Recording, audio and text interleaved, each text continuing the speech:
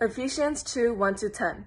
As for you, you were dead in your transgressions and sins, in which you used to follow the ways of this world and of the ruler of the kingdom of the air, the Spirit who is now at work at those who are disobedient. All of us lived among them at one time, gratifying the cravings of our flesh and following its desires and thoughts. Like the rest, we are by nature deserving of wrath. But because of his great love for us, God, who is rich in mercy, made us alive with Christ even when we were dead in transgressions. For it is by grace you have been saved.